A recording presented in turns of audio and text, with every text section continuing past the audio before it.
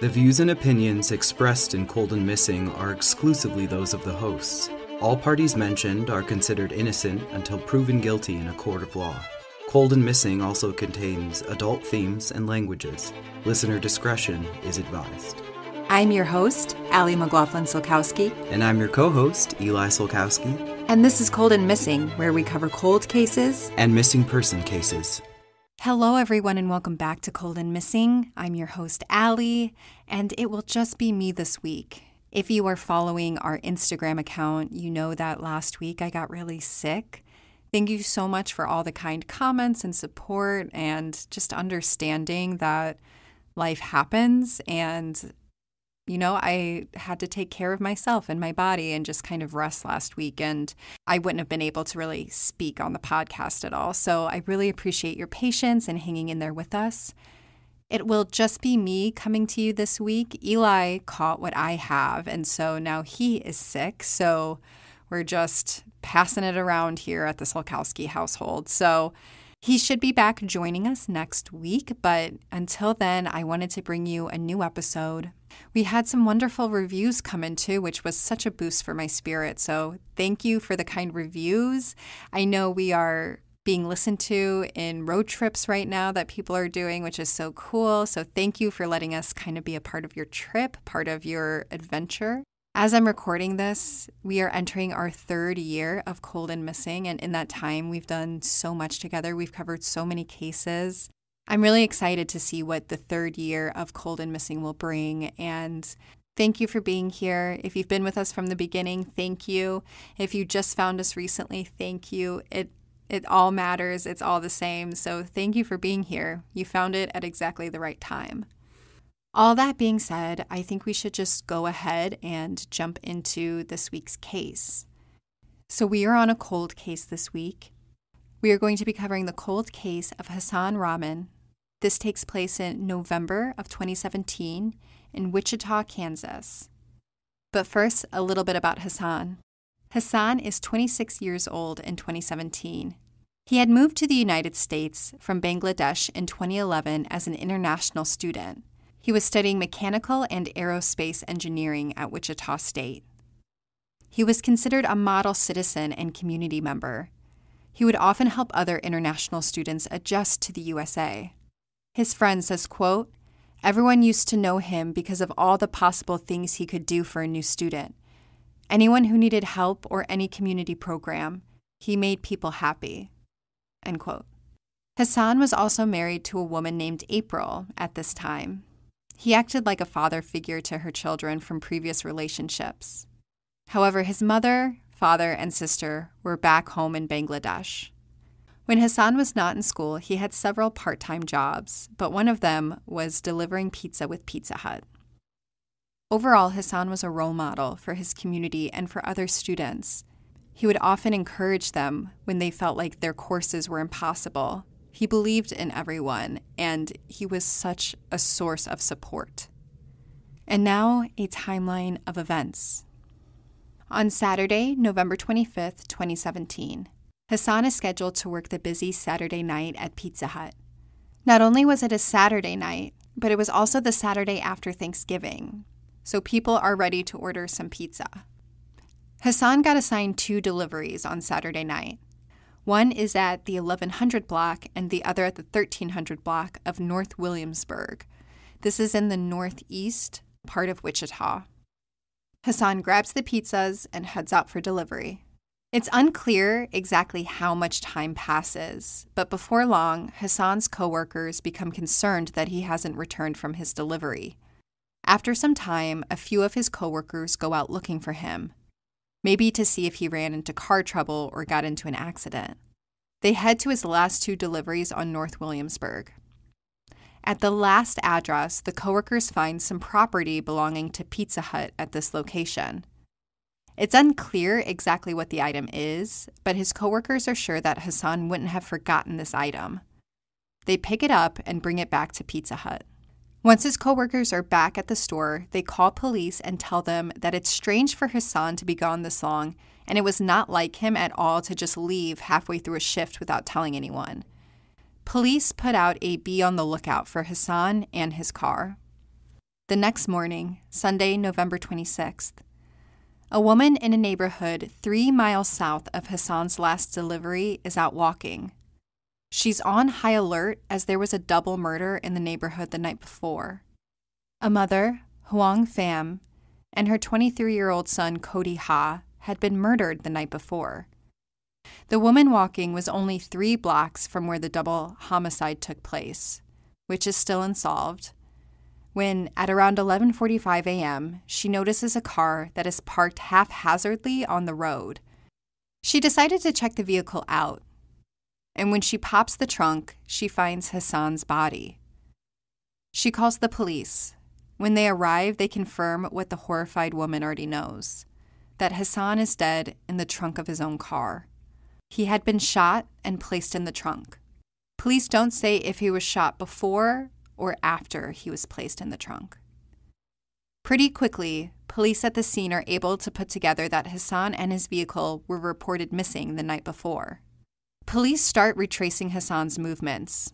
They interview his last two pizza deliveries, but police do not think that either of those orders were involved in the crime. Based off of the items his coworker found the night before, they believe that he was attacked near the site of his last delivery.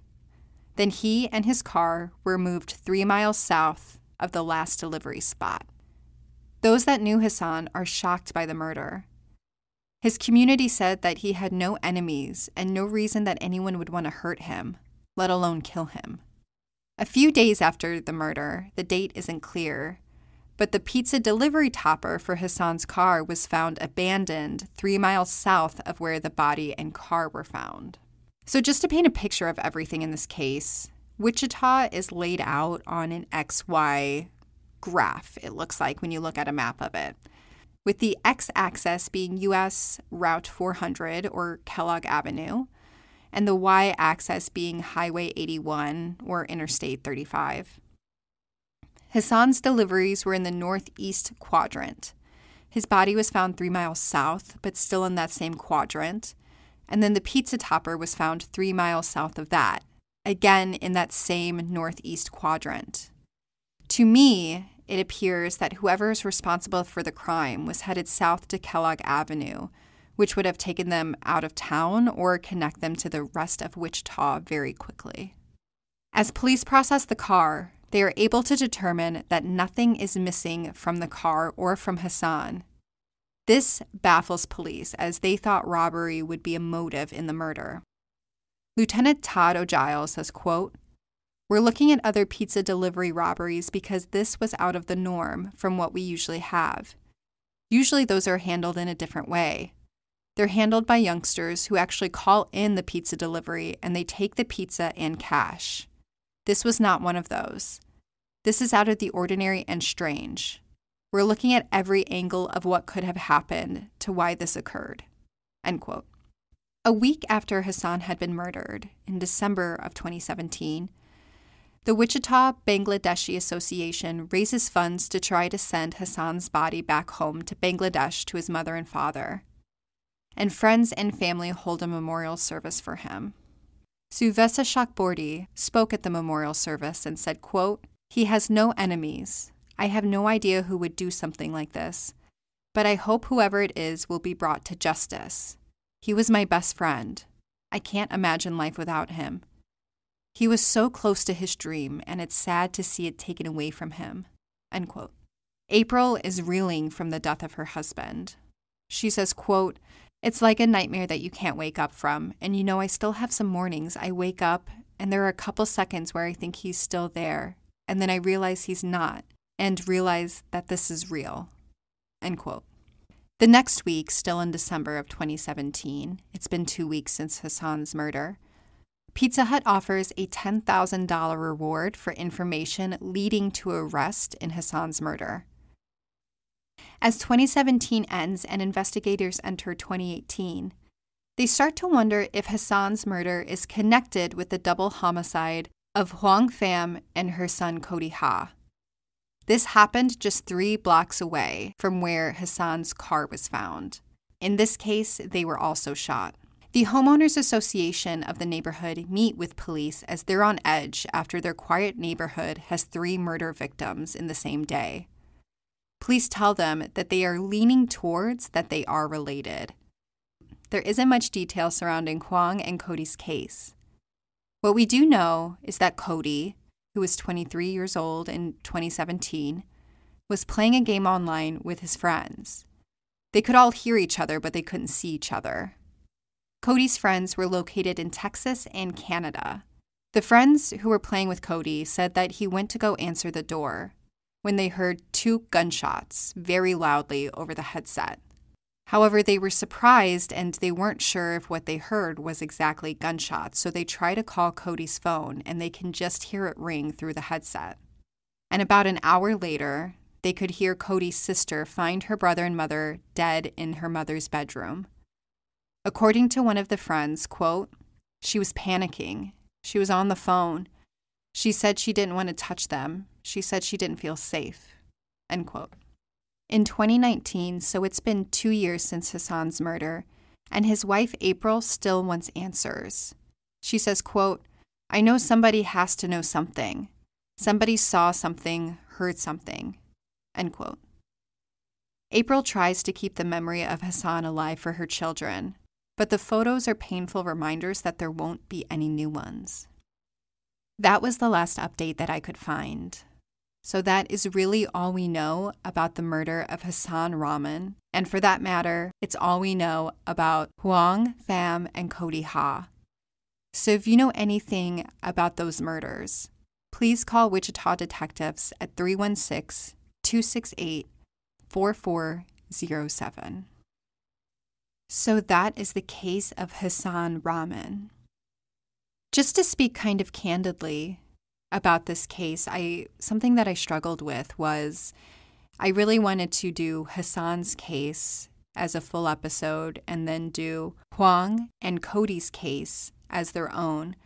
But unfortunately, there's just not that much information about Huong and Cody's case, it's really just what I read in here. And police have never officially linked Hasan and Huong and Cody's case. They did mention they're leaning towards it, but they've never officially connected it. So for me, just kind of reading in between those lines, we know all three of them were shot. And for police to be leaning towards them being connected, I would think that the caliber would have to be pretty similar between the three if it had been completely different guns, different calibers, then maybe they wouldn't be so open about saying that they could possibly be related to each other. I also wonder if Hasan and Cody, since they were similar in age, if they had any overlap of community or if they had ever ran into each other, if there's any links between Hasan, Huong, and Cody. Was there community overlap? Was there a place frequented by both of them where maybe they knew somebody who worked there?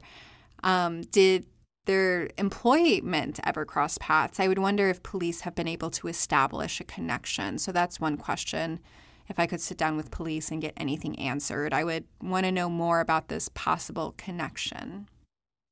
But kind of shifting the focus back to Hasan's case, one thing that stood out to me was when his coworkers went to look for him they found what's described as property belonging to Pizza Hut, which is an interesting way to describe an item found. So to me, I would think that this is maybe that pizza bag.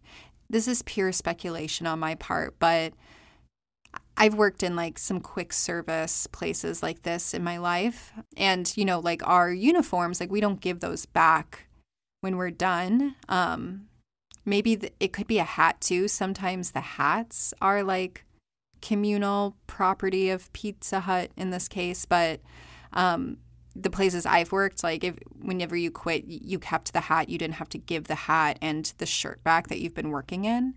So outside of those items, thinking about what a pizza delivery guy has with them, that bag that they use to keep the pizza hot, I think that could be potentially what was left behind because it would be strange for Hasan to just leave that somewhere, to not bring it back to the store, not put it in his car immediately. Um, and that would remain Pizza Hut's property and something that maybe his coworkers would grab and take back. Police have said they don't believe that any of the deliveries that night were connected with the crime.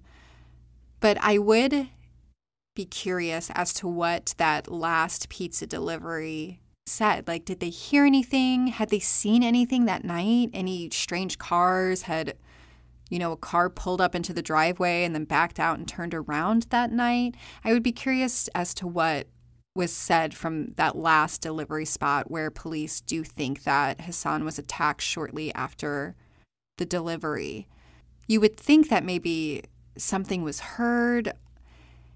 I feel like if this happened today, that house would likely have a ring camera, but I don't think that was there in 2017. There's no mention of that. But still, I would be curious if police did look for ring cameras just in the neighborhood to see if it caught any anything strange cuz this is a strange case as police said nothing was taken so robbery does not appear to be a motive i'm guessing that all of the money that hasan had on him when he left the pizza hut was still there and his wallet was there. Police didn't mention any of those things missing. So, very strange blitz attack for what reason? What's the motive here? Also, it's curious to me why the topper was removed from the car. I don't understand why that was done. Like, if you wanted to just take it off, they're typically just magnets, um, especially like kind of the newer ones. They're just strong magnets that sit on top of the car. So even if they wanted to take it off so the car wasn't as noticeable or recognizable, you know, you see a Pizza Hut delivery driver in your neighborhood, like, sure, that's fine. But then you see that car still kind of parked in the same way three hours later. It might stand out to you a little bit more if it didn't have that topper on it. Yeah, I just wonder if that's the reason it was taken, why it wasn't just like left with the car. Just throw it inside, throw it on the floorboards. Um, yeah, the topper is curious, but it does kind of show the movements from the last delivery to where the car was found to where the topper was found. It does show that like steady south movement towards those major roads. And also, since the woman who found Hasan's body, since she was able to pop the trunk, I think to me that says that the car was unlocked for her to get in and be able to pop it, or the keys were left outside or in the vehicle. They were accessible somehow. So I, I would just be curious if I could sit down and know everything about this case. Like, were the keys found? Since police said nothing was taken, does that mean the keys were left with the car as well? Or were those taken? Is that something that possibly could like link back to Hasan and the murder. There's just a lot of questions in this case, and I think the big one is motive. Not that robbery should ever be a reason to kill anyone. Like, you shouldn't even be robbing people to begin with, in my opinion. But it does give you like the story of like, oh, this happened because of X. But when you take that out of the equation, it's like this was just a random horrific blitz attack. Hasan had no enemies, no personal vendettas. Nobody wanted to hurt him, according to everybody that knew him. So, why Hasan? Why this night? Was it an opportunity? Wrong place, wrong time? If he delivered the pizzas in a different order, would that have changed anything? It's really puzzling and it's extraordinarily sad that this hardworking, smart young man was so senselessly murdered. I really hope that for the future of this case that we're able to get justice for Hasan and for his community. This deeply affected the Bangladeshi community in Wichita. And I imagine it scared a lot of folks too, especially those international students. He was really like a welcoming figure and you know, it was said that he would have students over to his house for a nice home cooked meal to help them feel more at home. You know, they're thousands of miles away and probably experiencing a bit of culture shock. And he was like this rock that was able to steady them and just show them that, like, yes, you can do this, you can adapt, you can learn, you're going to pass your courses, but you can still have a strong connection to community and your culture. And he was that person for so many, like, so many students talked about how important he was in their academic career. And it's really unfair that he didn't get to realize his dream fully. Like his best friend said, he was so close to his dream, and to have it snatched away so violently, so senselessly is tragedy. It's tragic. I do think that this case is solvable. I would imagine that there was you know, DNA swabs, fingerprinting of the car, fingerprinting of the, the topper. I want to believe that all of those things were done and they really treated the car as a crime scene immediately since it was. And, you know, eventually we'll be able to track down who did this, be it through DNA. I feel like every single week I'm seeing more and more cold cases old cold cases closed because of DNA evidence that they're able to do through, you know, the genetic genealogy and figuring out family trees and narrowing it down to just a few people. So I really feel that that's how this case will be solved is kind of through that method. But it wasn't that long ago. And, you know, it's kind of a notable time. It's you know, it's the Saturday after Black Friday 2017. Like there's there's a lot of like notable things. Like if you're visiting family, like for Thanksgiving, you're like, "Oh yeah, I was there." So hopefully if somebody remembers something that they saw, that they heard, I hope that they come forward with that information. And the same in Huong and Cody's case that they're able to see justice and get some more coverage on the case. But again, if you know anything about the murder of Hasan Rahman, Huong Pham, or Cody Ha, please call Wichita detectives at 316 268 4407. And we'll have pictures of Hasan, Huong, and Cody up on our Instagram and our website.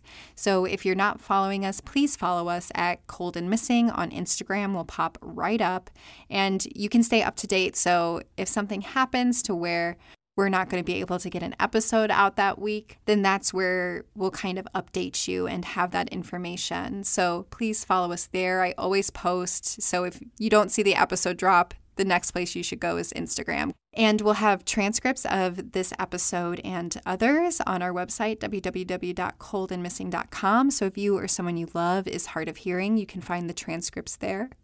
and I apologize, my voice is starting to go, but you know, when you're sick and then you talk for a long time, your voice isn't quite up for it yet. But the last thing I'll just say before we go if you have a second, if you can rate and review us on Apple Podcasts or on our website, www.coldandmissing.com, it's so helpful. It's so encouraging. It's it's really wonderful to get your feedback and to hear from you and to start engaging in that way with the community that we're building here at Cold and Missing. I appreciate you so much for being here. It's truly an honor to be a part of your week and to be part of your routine, whether you listen during your commute or during your workout or while you're cleaning or cooking or whatever it is. It's it's an honor to like share time with you and space with you and to bring these cases to you. It's it's an honor to tell these stories. I wish I didn't have to. I wish there were no cold cases, no missing people, but since there are, it's an honor to spend time with them and to research them and to be with them in this way. So, thank you for listening. Thank you for being here. Thank you for being a part of Cold and Missing. I'm your host, Allie. Have a good week and stay safe, y'all.